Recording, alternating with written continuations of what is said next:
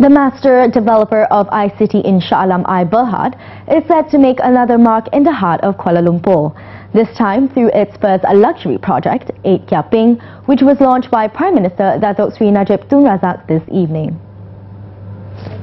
The development of the 1 billion ringgit luxury residential project was in line with the government's aspiration to develop Kuala Lumpur through Greater KL.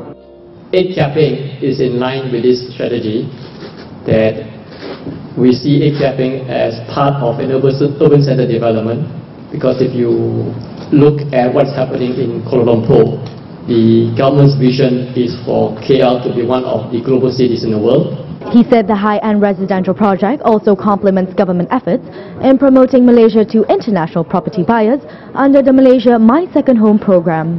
This says the project, which was known as the King of the Hill, has managed to attract buyers from Hong Kong, Taiwan, China and Singapore.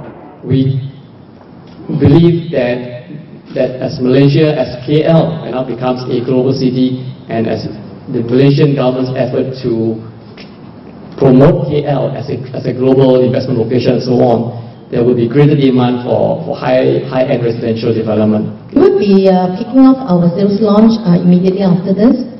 Um, and uh, so far, from the uh, feedback, uh, some initial um, response, yeah, we are getting uh, pretty good um, feedback towards this project itself.